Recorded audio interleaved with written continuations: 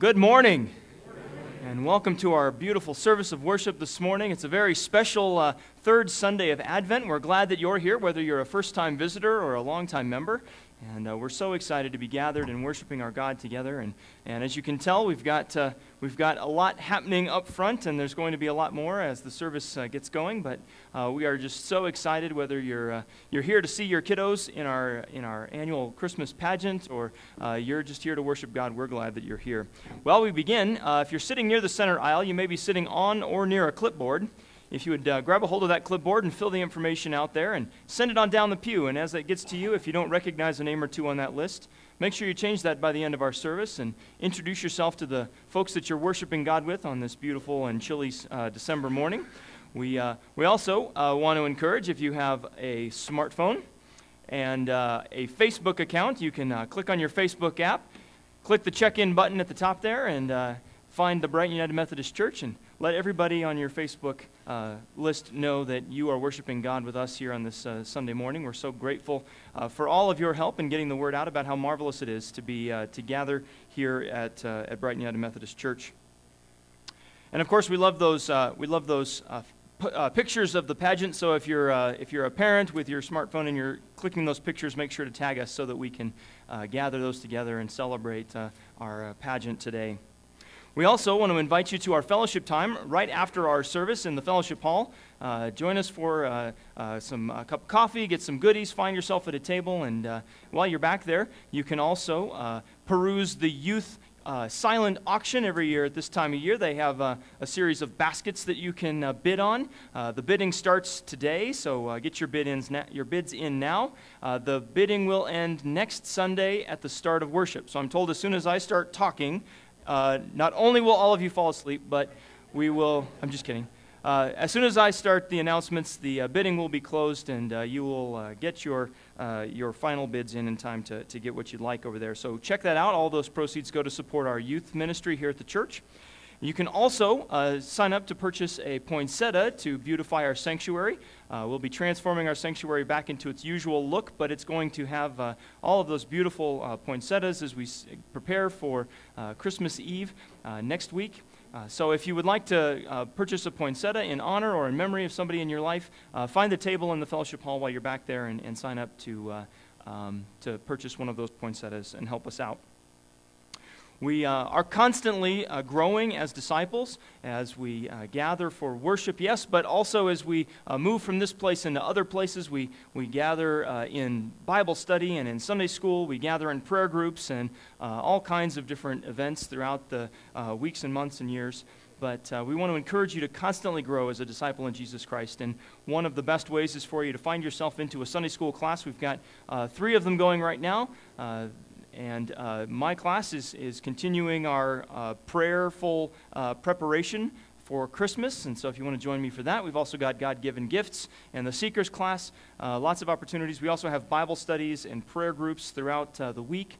And uh, just a reminder for all those who've been, who have been working through the prophets with me uh, this uh, 2015, we've been working on all of the prophets of the Old Testament. We're concluding our study of the prophets uh, on Tuesday morning at 9 o'clock with uh, the book of Daniel. So if you want to join us for that, it's never too late. We're just getting up to start a new series in January on the gospel. So if you haven't been a part of us and you're thinking it would really be nice to dig into God's word, find yourself into a Bible study. We'd love to have you and, and invite you into an encounter with God in, in the Holy Scriptures.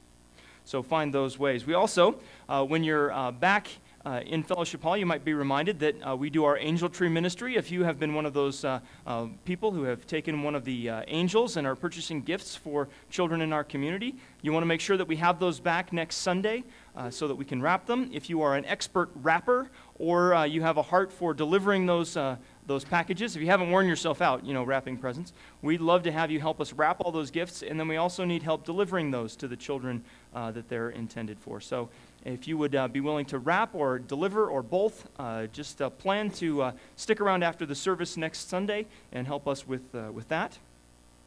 We also uh, are so excited. It's just such a great time of year to be worshiping. And next week we have another special service. Uh, our choir has been working all uh, the entire fall on the choir's cantata. It's going to be beautiful. We, it's really starting to come together as we were rehearsing it uh, last Tuesday. So we're very excited about the choir cantata. You want to check that out. And uh, we have a very special service next Sunday evening at 7 o'clock uh, called the Blue Christmas Service. If you're not familiar with the Blue Christmas Service, uh, there are uh, folks among us, maybe it's even you, uh, having a little hard time getting into the Christmas spirit. Maybe you're uh, feeling a little down. Maybe you're uh, missing that somebody that you lost this year. Maybe you're missing that somebody that's no longer there. Maybe you lost a job. Whatever it might be that's keeping you, keeping you down this Christmas, uh, the Blue Christmas service is a way for us to, uh, to worship and celebrate the birth of Christ even when you don't quite feel like celebrating. It's just a marvelous time of prayer and communion and, uh, and just a holy time. 7 o'clock uh, next Sunday in the evening. We'd love to have you join us for that as well, uh, if you can.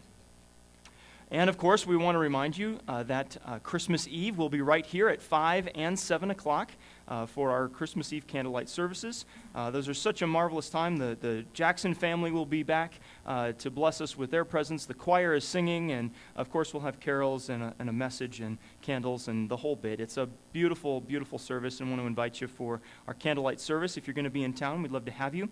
Uh, and maybe you're wondering how you're going to remember all of these uh, special events and dates. If you look on the back of your bulletin, you'll see a little box there that says Christmas season events, and all of the things I just rattled off are right there. Uh, all of the special services and all of the uh, extra things we have going on. And you might notice that it looks an awful lot like the little page that's inserted in your bulletin. I have a challenge for you. I have a challenge for you. Are you ready? Are you up to the challenge? This is the interactive portion of the announcements. Are you up to the challenge? Yes. Fantastic. So here's, here's the challenge. You've got your bulletin. You can take that home.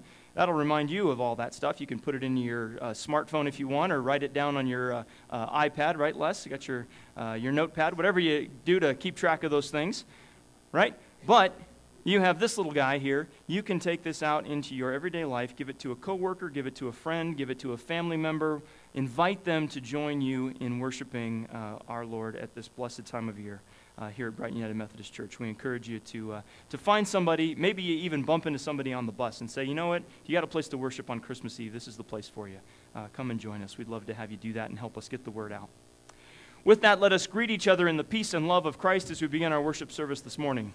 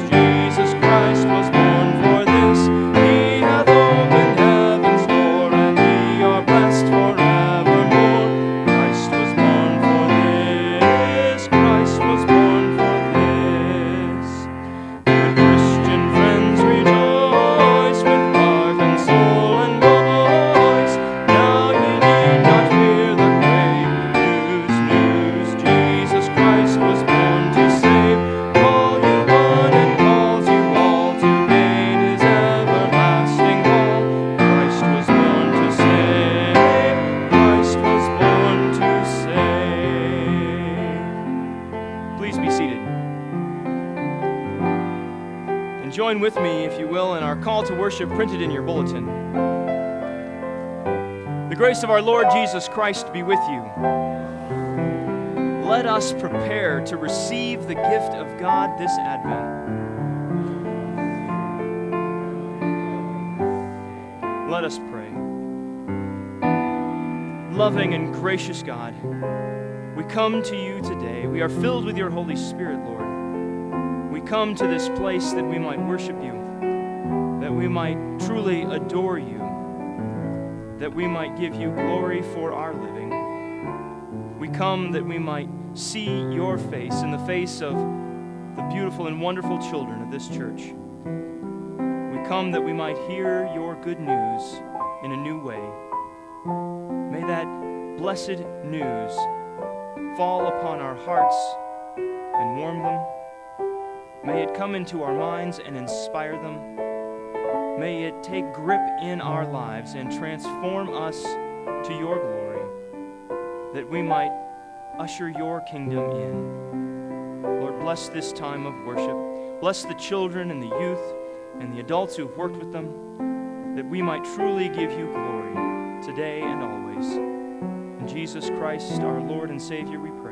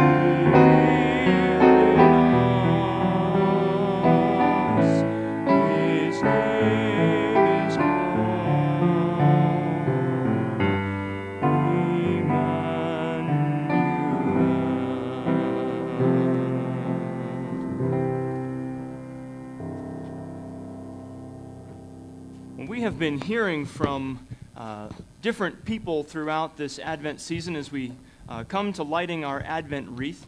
And I'm going to call back to the folks who are herding the children and have them send up the Hicks girls real quick. They'll be on their way. We were trying to decide who I would invite for uh, this Sunday, as we, of course, have most of our uh, stuff out of the way. Uh, but, of course, we have our, our Advent wreath tucked over here by our, our uh, Christmas tree. And I started thinking about uh, all of those wonderful conversations that I get to have with the kids up here. Usually, come on up, girls. All those times that I get to have these great conversations with these kiddos, and sometimes I wish they all had microphones so you could hear them all. Uh, but I started thinking about who could share with us about what it meant uh, to know Jesus uh, on this Sunday as we celebrated our youth and our children. And uh, these two automatically came to mind. So you guys are going to help me, right? All right. So I'm just going to ask them a question, and we'll see how they we'll see how this goes. All right. So what does it mean for you guys to know Jesus? Well, it means like he's our savior and he protects us and he saved us for um, just to love us, and care for us. He's like our helper when he helps us, and we. I believe that everyone should love him. Amen. It doesn't get much better than that, does it? Can you guys help me? All right.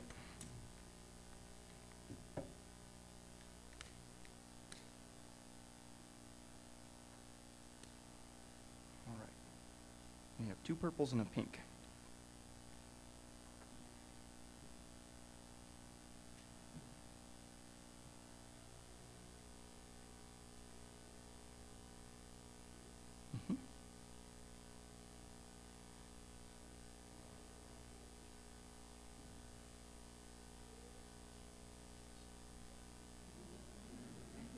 There you go. All right, you want to do the pink one? Right back over here.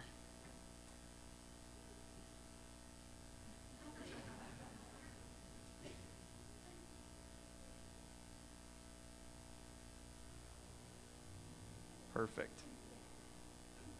Thank you, guys. All right, we'll let you guys go get back ready, okay?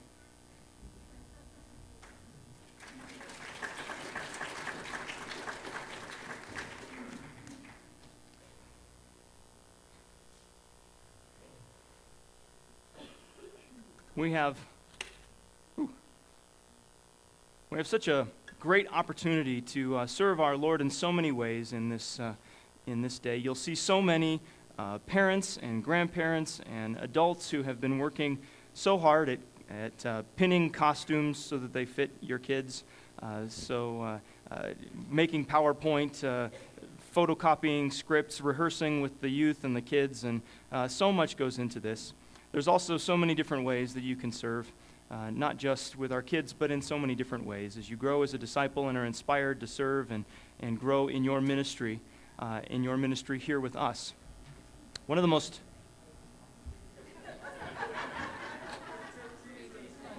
they're, they're stealing Jesus.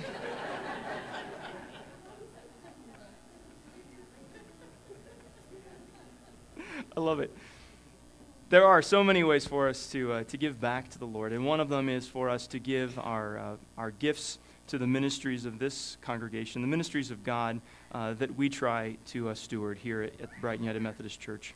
And so it is uh, inspired by our young people and all that they give to us that we give what God has given that uh, His ministry might continue. So let us take our morning offering.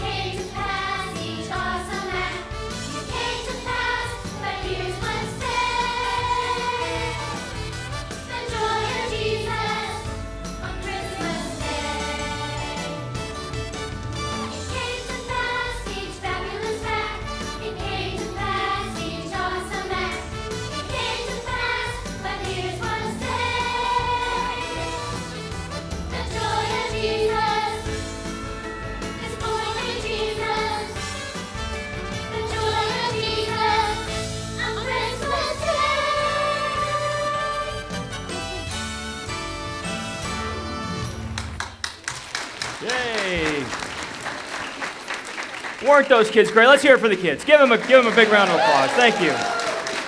Boy, kids, that was just super. You guys did a fabulous Christmas presentation. I'm so glad. Thank you so much for coming.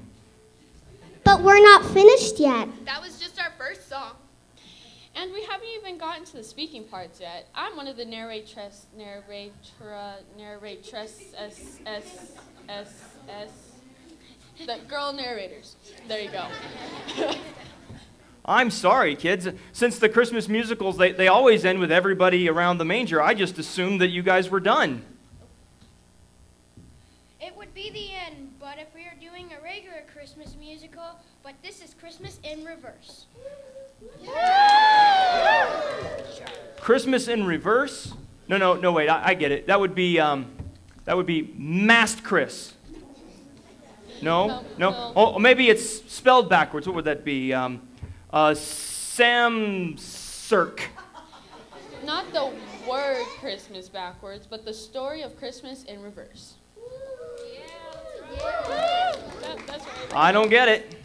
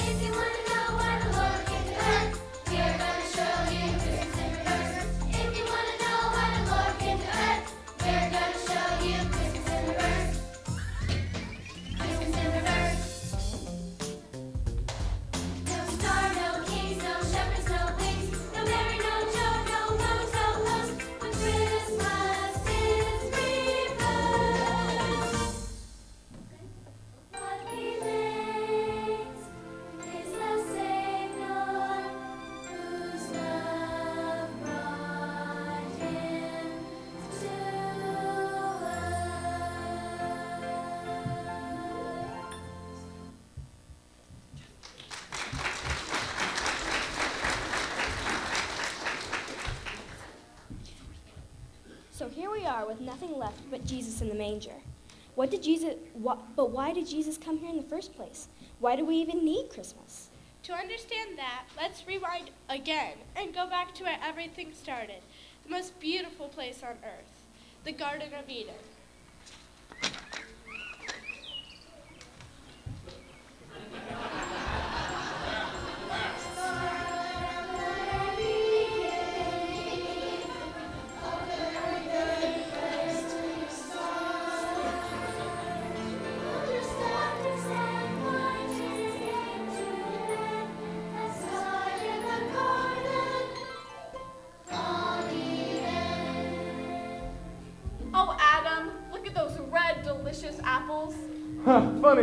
Look like Winesaps to me. Uh, whatever. Let's get to picking. But imagine all the things that I could make with them. Apple sauce, Yum. apple pie, apple jacks, but could you make some Snapple to wet my Adam's apple? you get, get it? Adam's apple? I'm the funniest guy on the planet. Adam, you're the only guy on the planet. now, let's get to picking. But of all these trees in the garden, God told us not to eat any of these ones. Well, when someone tells you not to do something, what do you naturally want to do? Sure. Besides, God's not watching. Who's gonna know? Take a bite. Mmm, it does taste like a Winesap. Now, doing what God tells us not to do is called sin. And since God is always with us, He knows everything, just as He knew Adam and Eve had sinned. We don't know how long Adam and Eve had been in the garden, but we do know that until this time they had always obeyed God.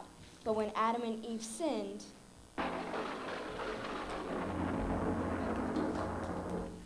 the garden became a place where God no longer could live.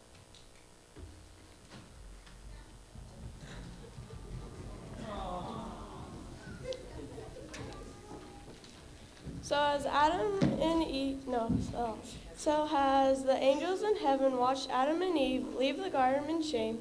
What do you think they might have said?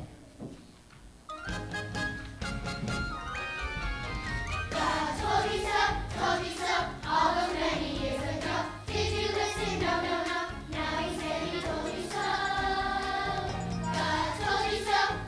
All those many years ago.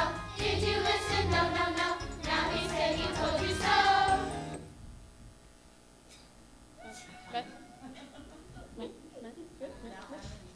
Now. Um, now Adam and Eve had children and grandchildren and great grandchildren, but no one ha- but no one worshipped God until Noah. So God told Noah to build a big boat and fill it with animals of every kind. Then Noah invited everyone to join him on the boat, but the people just laughed and walked away.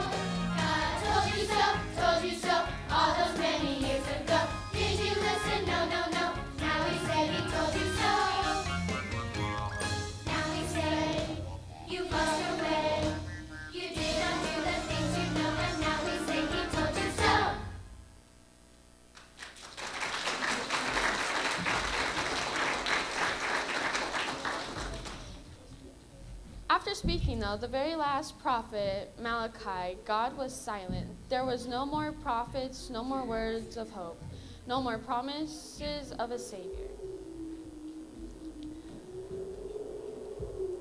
Time passed slowly one year, ten years, a hundred years, and then 400 years. And what about the people who loved God and prayed for his return? They all could, all they could do was wait.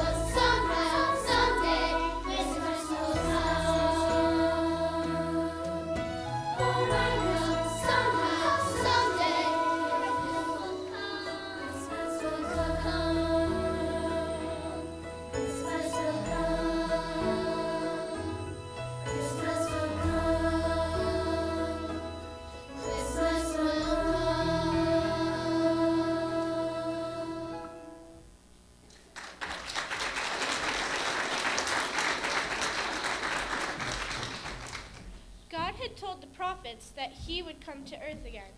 But instead of appearing in the clouds as a mighty king, God came as a man, as any man comes to earth, born of a mother, a mother named Mary. Here's how it happened. The angel Gabriel appeared to Mary and said, Mary, the Lord, Mary, the Lord has decided to wonderfully bless you. wonderfully bless you. You will be the mother You will be the mother of God's Son. Then Mary replied, Oh, how I love the Lord, that He would notice even a simple girl like me. The Lord has done so much for me, just as He does wonderful things for everyone who serves.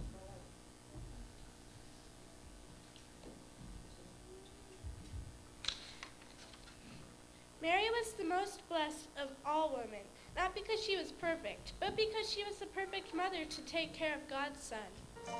Mary loved God, trusted Him, and trusted His plan for her life.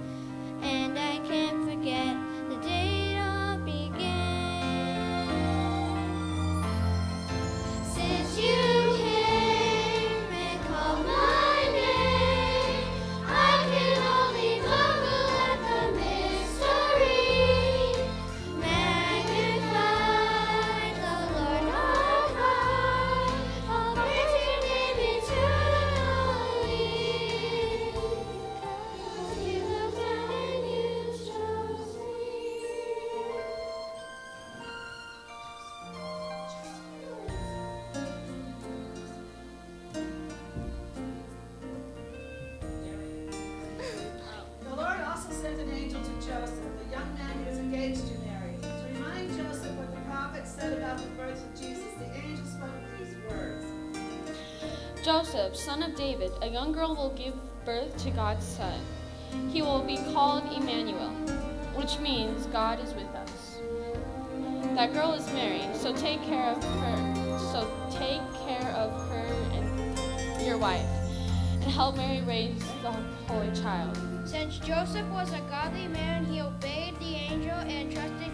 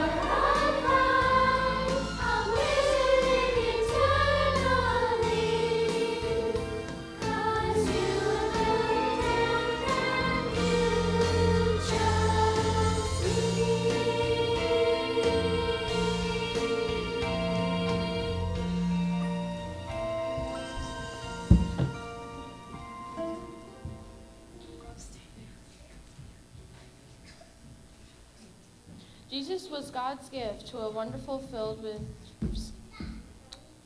with sinful people. But because Jesus was God, God with us, he alone had the power to give us our sin. And all of the people who lived at the time who would be the first to hear the news of Jesus' birth. Pipe down out there. Pipe down out there. Yeah, we see. Yeah, we see you. Don't make me get up.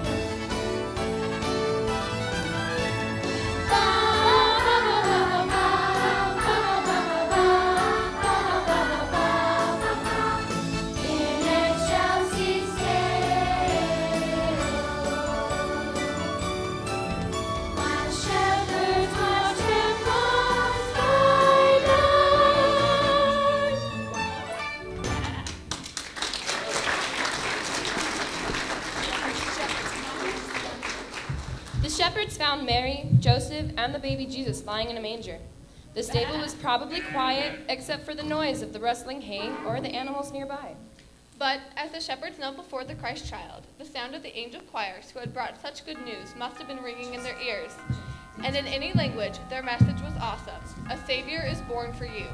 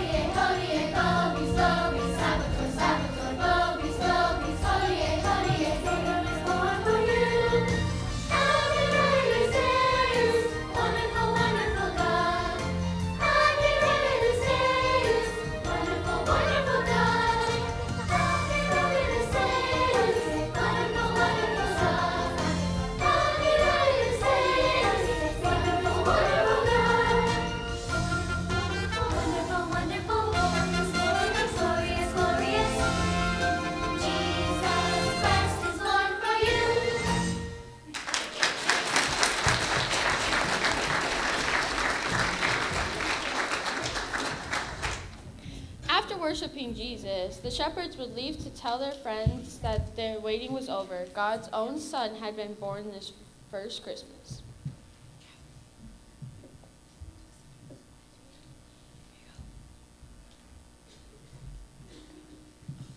But others would come to worship the Savior, like the wise men, who, after months of following the star, found the newborn King. And when they found Jesus, they said,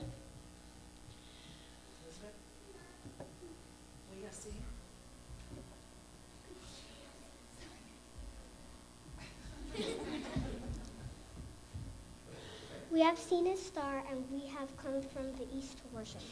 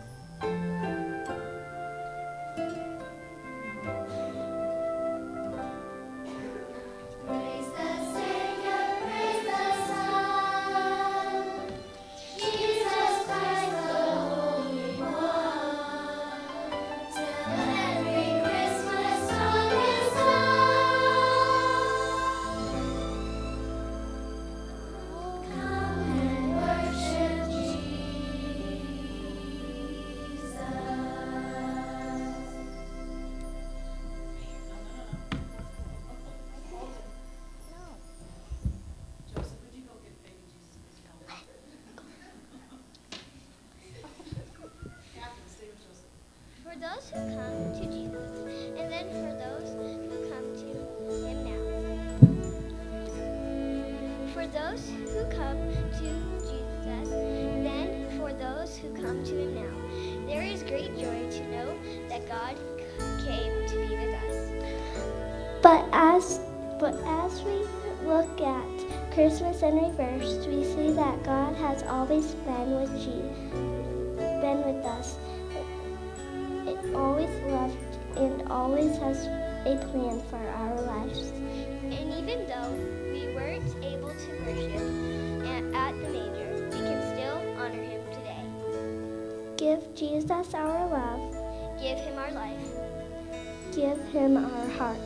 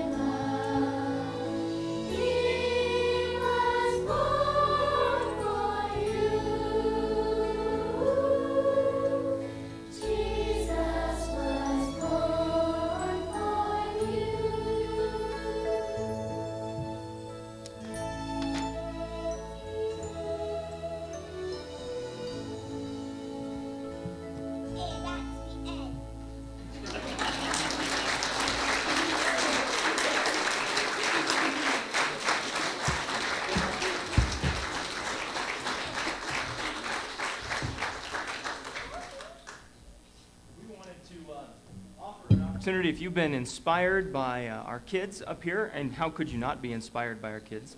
If you were uh, inspired to uh, dedicate your life or rededicate your life to Christ and welcome uh, the Christ child into your heart, we want to, uh, we'll repeat that uh, last song, and we would love to have you come down and let the kids and I pray with you as you do that. So if you'd come, great. If not, we'll pray with all of you.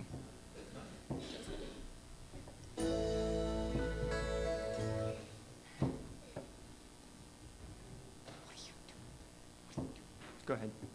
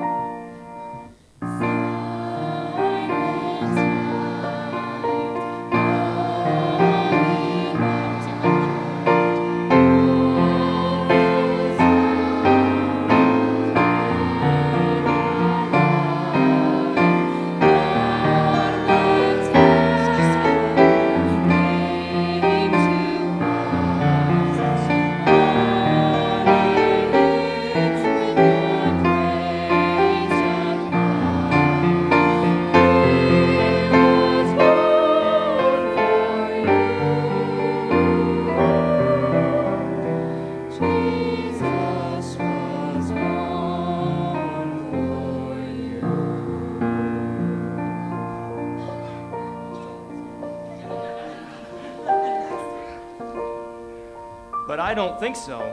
But everybody's back at the manger. The innkeeper, the angels, the shepherds, the wise men, Mary and Joseph. We've told the whole Christmas story plus the story behind Christmas. Yes, but you're still not finished. So what's, left? the praise, the applause, the good news that God his, sent his son to this stinky, smelly earth to welcome to, to welcome us there. So I'd have to say, we've got something to shout about, right? Yeah. All right.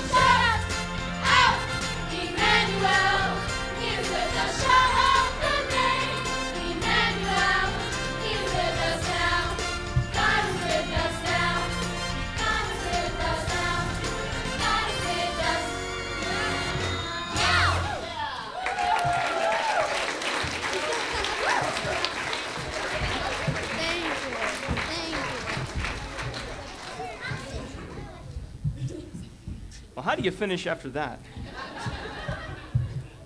I want to invite us to uh, stand, enjoy, and join in our uh, choral benediction as we close our service today.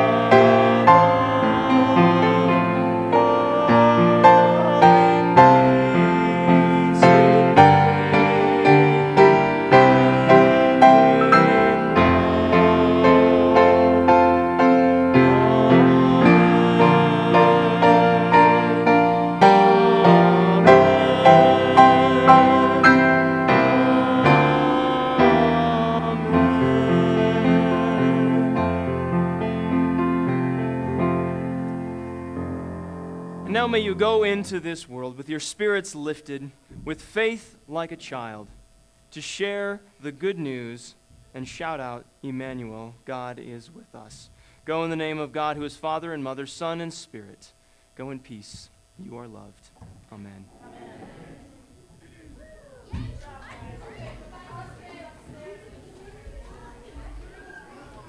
Morning, Patrick.